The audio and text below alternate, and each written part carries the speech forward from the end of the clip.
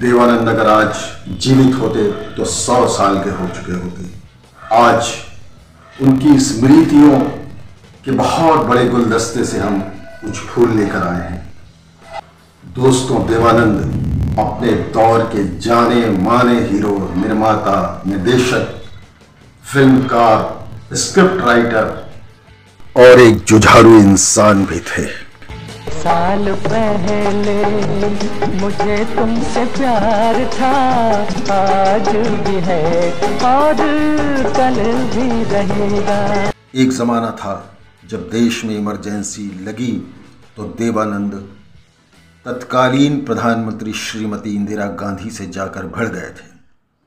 दरअसल जब इमरजेंसी लगी और देवानंद पर भी बैन लगाने की तैयारी थी, तब उनको एक प्रस्ताव दिया गया था कि वे दूरदर्शन पर आएँ और इंदिरा गांधी के पुत्र संजय गांधी की नीतियों का गुणगान करें।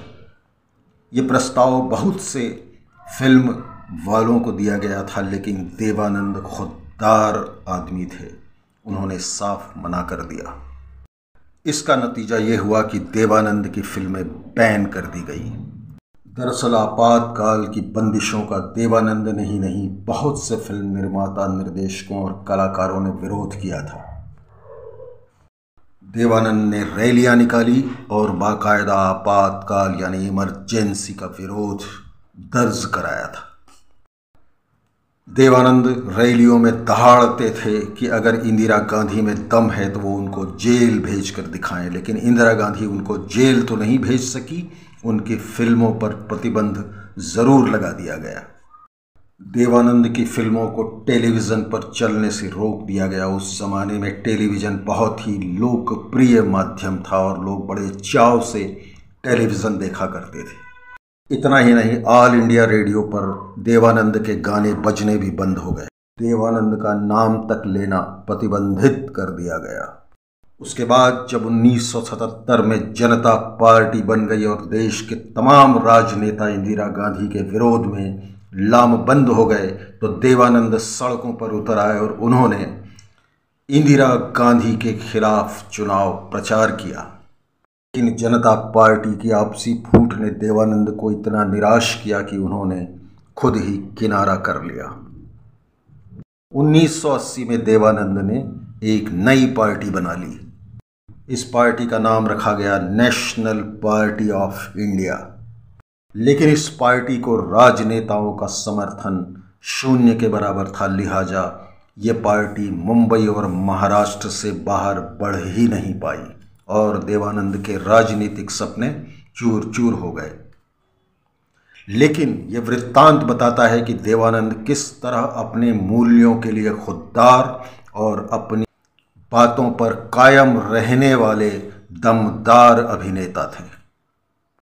दोस्तों 4 सितंबर 1979 को मुंबई के ताज होटल में एक प्रेस कॉन्फ्रेंस रखी गई थी। इस पार्टी के समर्थन में वी शांताराम, राम बोहरा, हेमा मालिनी, रामानंद सागर, आत्माराम, संजीव कुमार, शत्रुघ्न सिन्हा जैसे कलाकार देवानंद के समर्थन में आगे आए थे।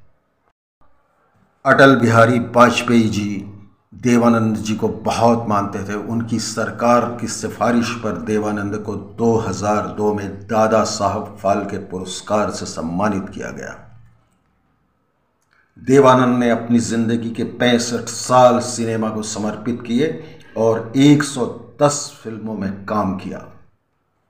इनमें बयानवे फ़िल्मों में वे खुद निर्माता निदेशक और अभिनेता थे। या सिर्फ़ अभिनेता थे। हालाँकि तस्वीर का एक पहलू और भी है, फ़िल्म गाइड को विदेशी फ़िल्म समारोह के लिए क्लियरेंस नहीं मिल रही थी, लेकिन इंदिरा गांधी ने देवानंद की 1966 में मदद की थी और गाइड फ़िल्म को क्लियरेंस मिल गई थी। लेकिन देवानंद अपनी बातों पर अड़े रहने वाले इंसान थे, उनको आपातकाल पसंद नहीं था, लिहाजा इंदिरा गांधी से उनका विरोध व्यक्तिगत नहीं था, बल्कि नीतियों को लेकर था। देवानंद की पार्टी के फ्लॉप हो जाने का एक कारण ये भी था कि फ़िल्म निर्माता चूँकि बिज़नेस व्यवसाय से ताल्लुक़ रखते थे और उनके बीच ये अफवाह फैल गई कि अगर फ़िल्म उद्योग ने इंदिरा गांधी के खिलाफ कोई कदम उठाया तो भारी नुकसान उठाना पड़ेगा। लिहाजा एक एक करके ज़्यादातर निर्माता कन्नी काटने लगे और देवानंद तनहा रह गए। दोस्तों, देवानंद के काले कोट का किस्सा तो सभी जानते हैं कि उनके काले कोट पर लोग इतने दीवाने थे खास कर महिलाएँ, लड़कियाँ। लिहाजा कोर्ट ने इस पर बैन लगाया था। टैक्सी ड्राइवर जो उन्नीस सौ चौवन में बनी थी, उस फ़िल्म को देखने सारे टैक्सी वाले थिएटर के बाहर अपनी टैक्सियाँ खड़े करके जमा हो गए थे, लिहाजा उस दिन मुंबई की सड़कें वीरान हो गई थी और लोगों को एक भी टैक्सी नहीं मिली थी। देवानंद को शत शत नमन।